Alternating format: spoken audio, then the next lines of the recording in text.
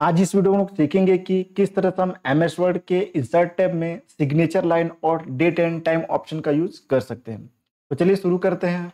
तो जस्ट हम यहाँ पास एम एस वर्ड ओपन कर लिए। अब यहाँ पर जो सिग्नेचर लाइन और date and time option insert tab में शो करेगा। तो जस्ट हम यहाँ पास इंसर्ट टैब में गए और यहाँ पास देखिए हमारे पास शो करता है क्या? सिग्नेचर लाइन और डेट एंड टाइम ठीक है?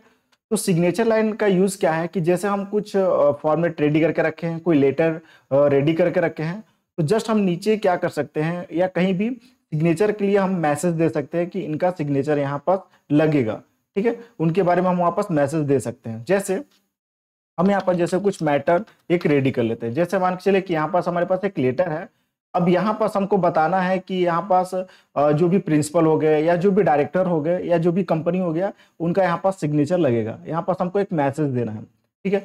तो उसके लिए जस्ट हम अपने कर्सर को वहाँ पास लाएँगे, जहाँ भी हमको चाहिए तो जैसा हम यहाँ कर्सर रख दिए। उसके बाद यहाँ जस्ट सिग्नेचर लाइन में जाना है। सिग्नेचर लाइन में जाने के बाद यहाँ पास देखिए शो करा है माइक्रोसॉफ्ट ऑफ़िस सिग्नेचर लाइन ठीक है? इस पर क्लिक करेंगे। अब यहाँ पर देखिए सजेशन कर रहा है कि मतलब यहाँ पास क्या नाम होना चाहिए? तो जैसे हम यहाँ पास डाल देते हैं, जैसे मिस्टर पंकज गुप्ता। ये हम यहाँ पास नाम डाल दिए। ठीक है? और नीचे यहाँ सजेशन कर देते हैं कि ये मतलब क्या है? तो जैसे डाल देते हैं हम यहाँ पास डायरेक्टर ठीक है? अगर मान चलो कोई प्रिंसिपल होते तो प्रिंसिपल या कंपनी का कुछ नाम होता तो भी आप कर सकते हैं अपने हिसाब से। तो जैसे हम यहाँ डायरेक्टर डाल दिए और जस्ट यहाँ कर दिए ओके तो देखिए यहाँ पास हमारे पास ये आ चुका मैसेज, ठीक है? जैसे यहाँ पास मिस्टर पंकज गुप्ता और नीचे यहाँ शो करा है डायरेक्टर।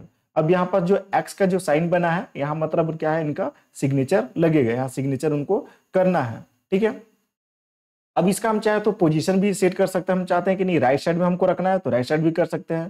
तो जैसे इसको सिंपल सेलेक्ट किए सेलेक्ट करने के बाद यहाँ फॉर्मेट में जाएँगे और यहाँ से हम सबसे पहले रेपटेक्स में जाकर इन फ्रंट ऑफ़ टैक्स कर लेते हैं। इसके बाद यहाँ देखिए पोजीशन शो कर रहा है पोजीशन में जाएँगे और जैसे इसका पोजीशन हमको राइट साइड करना तो जैसे राइट यहाँ पास क्लिक किया यहाँ पास तो ये देखिए राइट साइड में यहाँ पास पोजीशन आ गया। ठीक है? इसको थोड़ा सा नीचे हमको करना है तो यहाँ से हम इसको थोड़ा सा ऐसे नीचे मूव कर सकते हैं तो यहाँ पास ये नीचे आ चुका। ठीक है? तो यहाँ पास हम, ये जैसे लेटर हो गया और यहाँ पास इनका क्या हो जाएगा कि यहाँ पास ये सिग्नेचर लगेगा। ठीक है? उसी तरह मान के चले कि यहाँ पास लेफ़्ट साइड में हमको जैसे स्टूडेंट का सिग्नेचर देना है। या किसी और चीज़ का भी सिग्नेचर देना है तो उसका भी मैसेज दे सकते हैं। तो फिर से हम यहाँ पास इंसर्ट में गए और सिग्नेचर लाइन में ही और यहाँ से फिर से माइक्रोसॉफ्ट ऑफ़िस सिग्नेचर लाइन पे क्लिक करेंगे और यहाँ पास देंगे। तो जैसे हम देते हैं यहाँ पास क्या? Student signature